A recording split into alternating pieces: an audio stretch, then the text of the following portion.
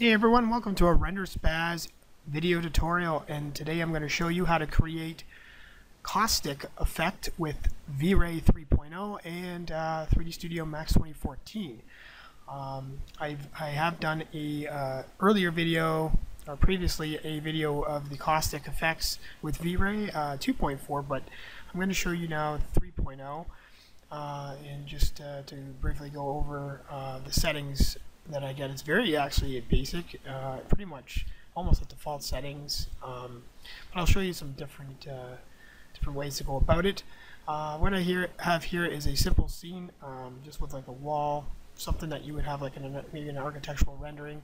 Uh, I'm not texturing anything right now. I just pretty much uh, built a like a little bit of a like a a cavity area here with a uh, water mesh that we're going to create. Um, something that you'd have like a little pool or maybe like a pond uh, in an architectural rendering. So that's just to kind of simulate that. Other than that, this is uh, pretty straightforward. So um, what I've built here was a plane uh, and I've created uh, some resolution on this guy. Okay, so I went from like a, a 20 to a 145 in the segments, just depending on the length and uh, your width of the uh, object that you're using. I think that was just enough for now. I use a displacement modifier on this to give me some um, some bump that uh, will create some water ripple if I want uh, some wind strength or something to simulate that makes it look like it's moving. Uh, instead of using a bump map, you can use a bump map if you if you wish. Uh, I just like to go with the uh, displacement. And then I was messing around with the strength, depending uh, on the strength um, of your liking, you can get a uh, cool ripple effect here.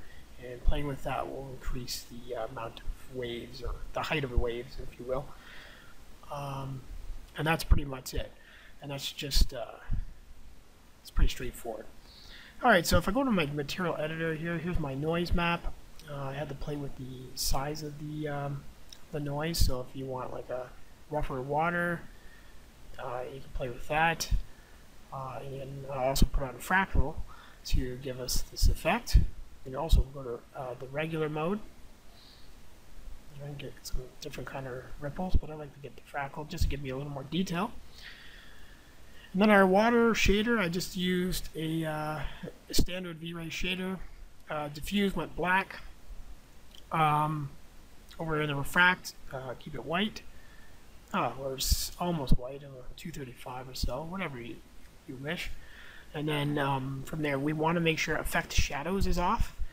And uh, we also made the fog color just this kind of blue. I uh, play around with this uh, just to get different uh, color looks to my water.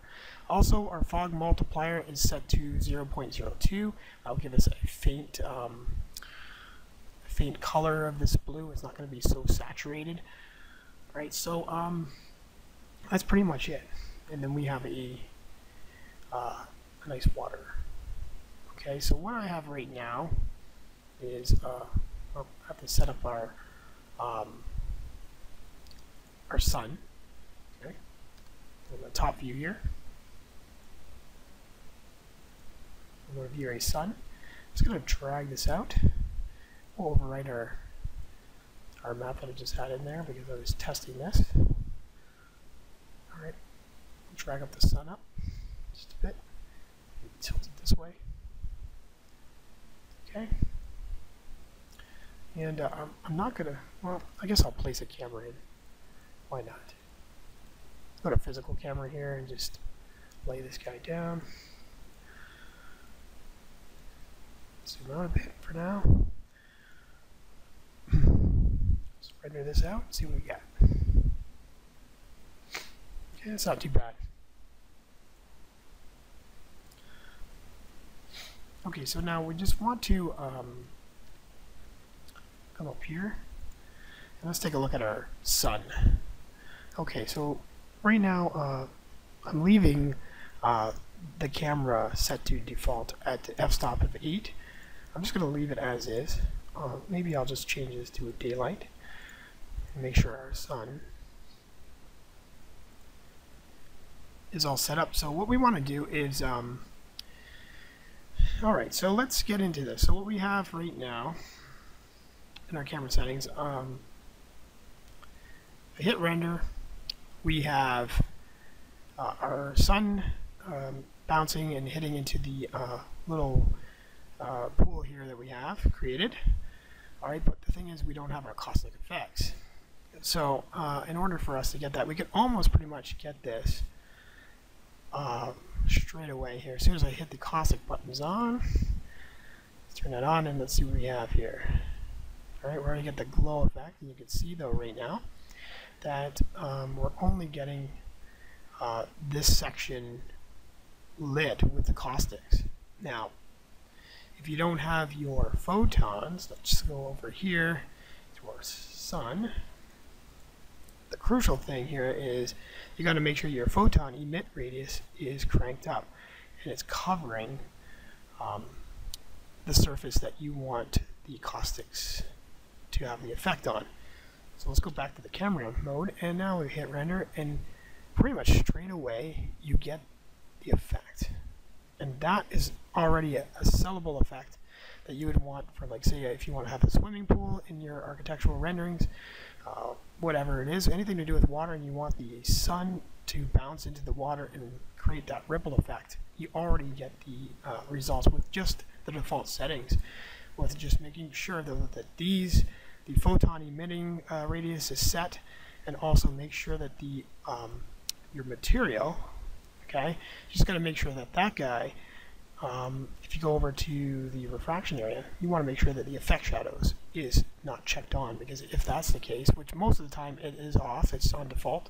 Default, it's off, uh, but in case you did have that on or you do put it on, you're going to see that you're not going to get the caustic effects no matter what you do.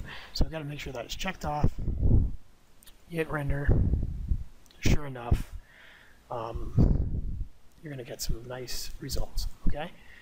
Um, just to go through some of the caustic settings, uh, if somehow you have darker uh, lines coming through, like these little uh, caustic uh, little light lines that you see there, or whatever you want to call them, uh, if if that's the case, um, there's two ways you can go about it. You can obviously increase the sun uh, intensity, or what you could do, or whatever if you use a direct light as well, or you could come in over to your, oh, let's see here.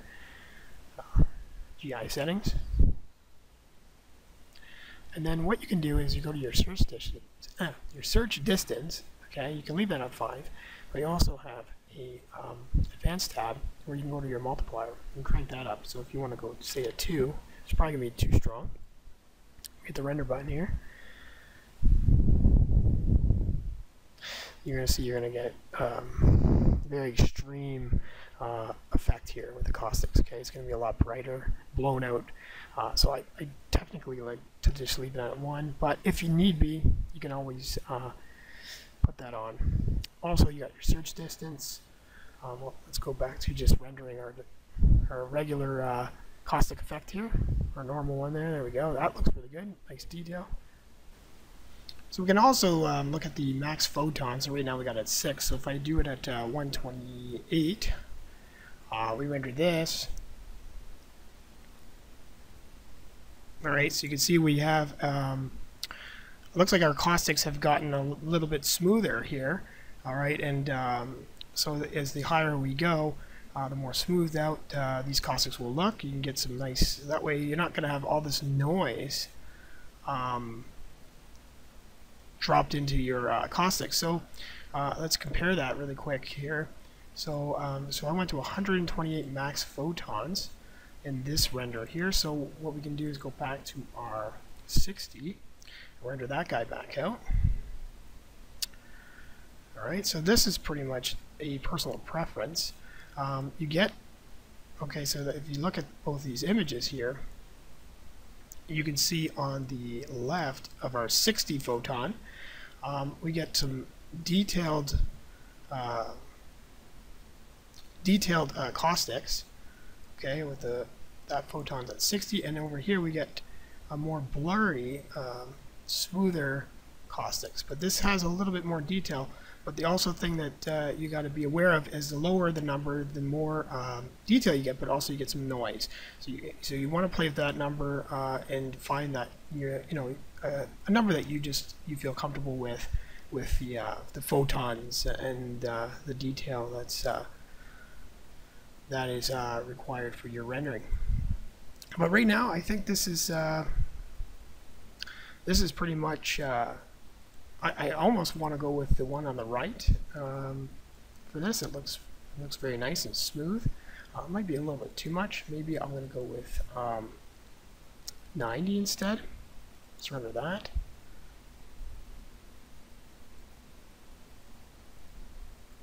This way I do get some detail. I do like the detail, not too too smooth, but uh, you can see we're starting to get a little bit more hotter, high, uh, highlights and light uh, hits here. So um, I'm going to go with that. But uh, that's pretty much it, guys. That concludes this video of caustics. Uh, pretty straightforward. I didn't get really in-depth, but enough to give you some cool effects for your architectural renderings. If you have, um, you know, if you have a pool or you have any kind of like pond or any kind of just little uh, trenches with uh, water in it, or whatever scene that uh, you wish to use this, uh, or whatever uh, scene you want to create and you want to have a caustic effect. Um, hope this uh, helps and it gives you an idea of uh, what you can do with it. Um, hope you enjoyed this video, guys. Uh, stay tuned for more um, and check out more of my tutorials at www.renderspaz.com. Alright guys, thank you and see you later.